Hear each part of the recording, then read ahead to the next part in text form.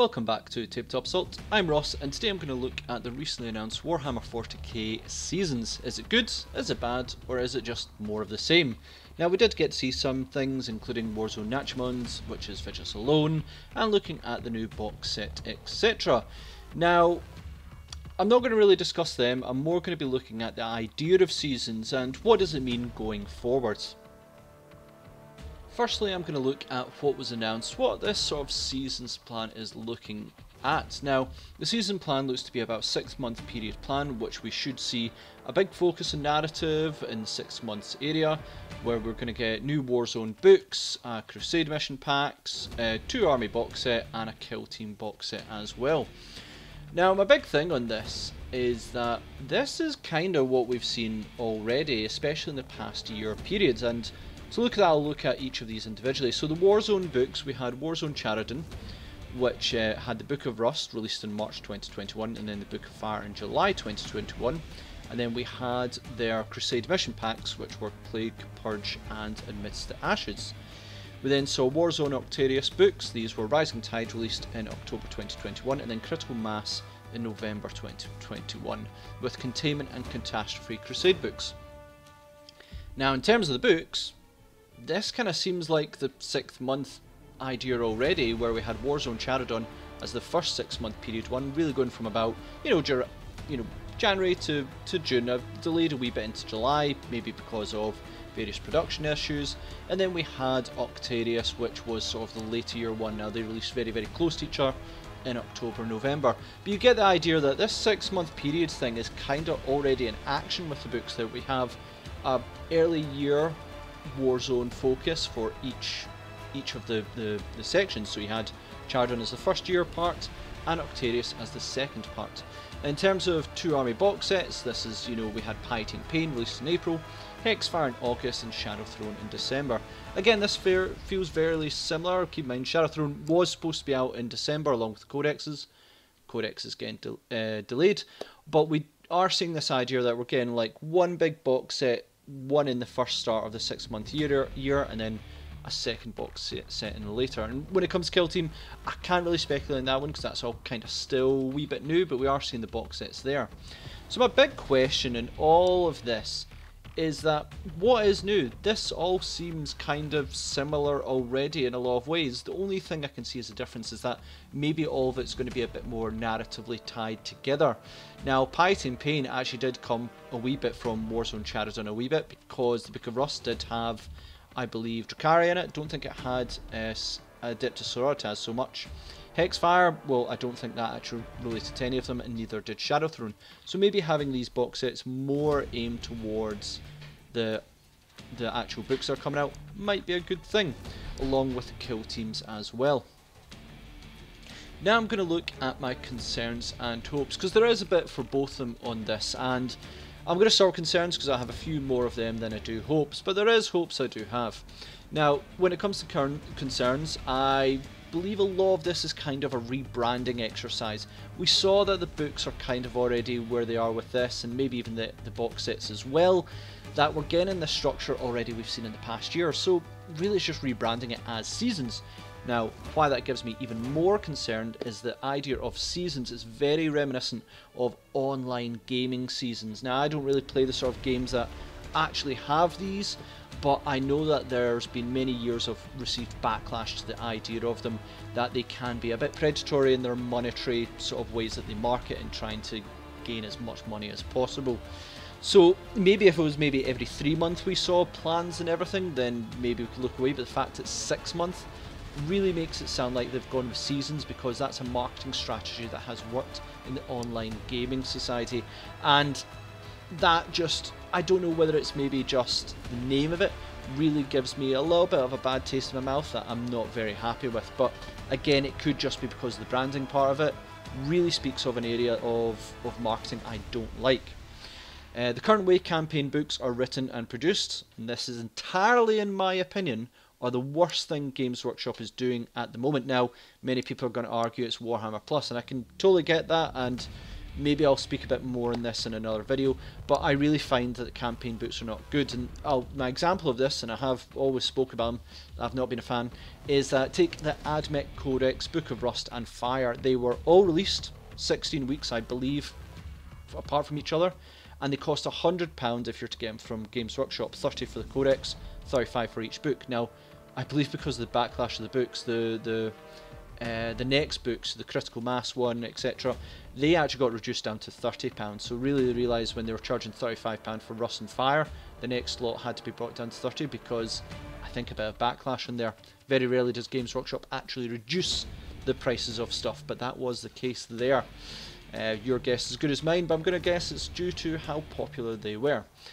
Where the Rust book had five pages of rules for AdMech and Fire had two pages of rules, and I thought this was incredibly egregious. I have no problem with supplements, in fact I think supplements are a very good idea.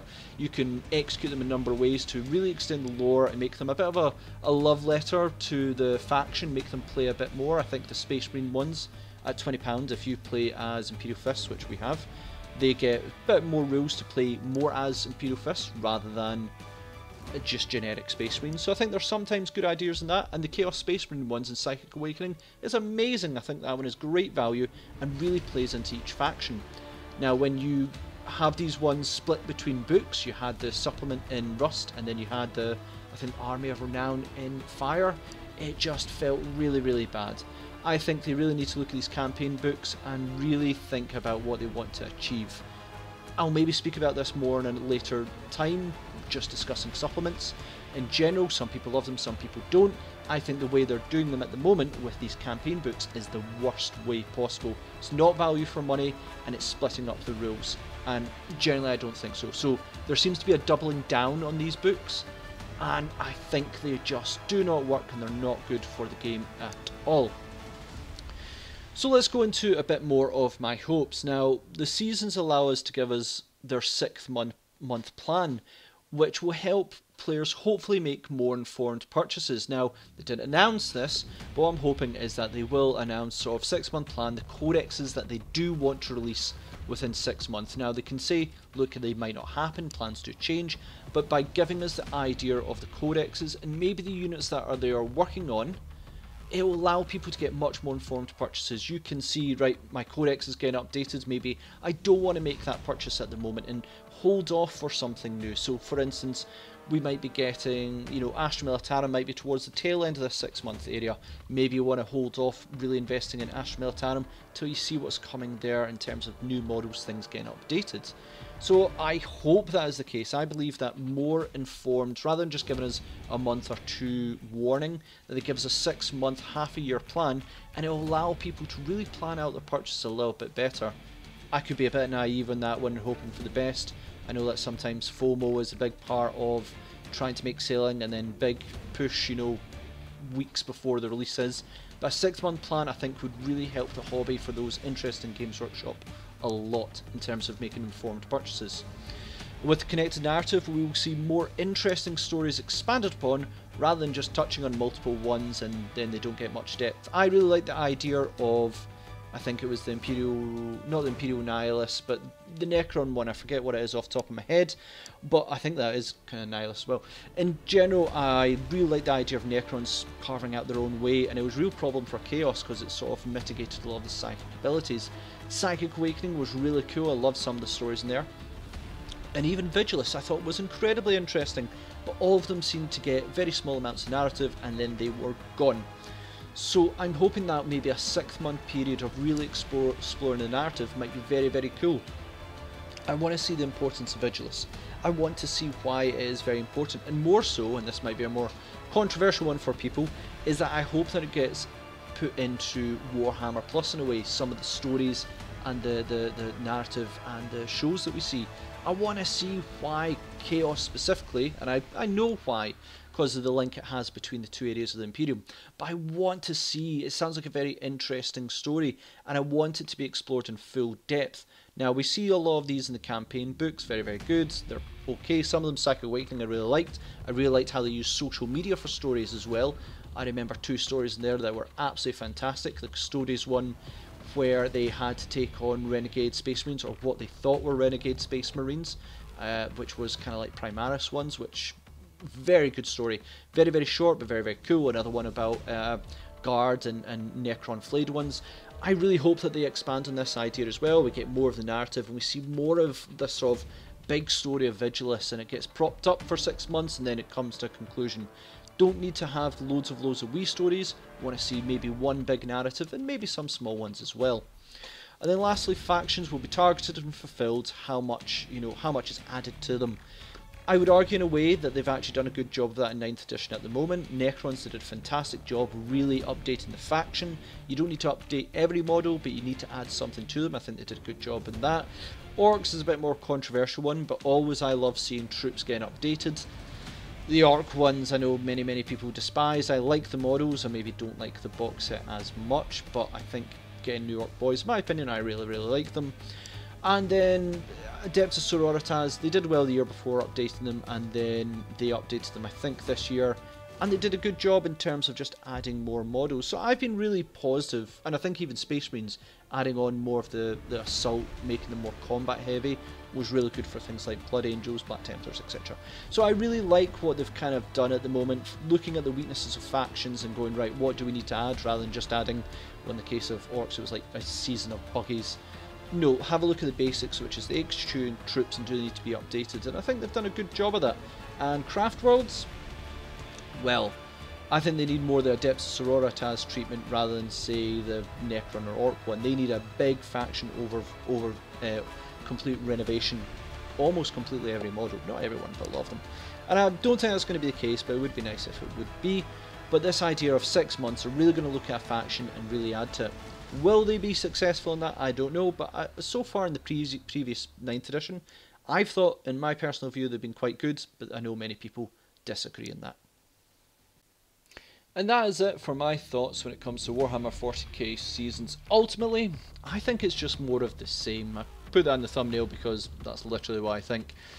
It's a lot of the ideas are kind of there in terms of unifying everything that they've done before, but just the idea of seasons feels really, really wrong to me. It just, I've seen stuff use that marketing strategy before, and it just really worries me just that tiny little bit. Now, we've only just heard about this. There may be a lot more to see coming up.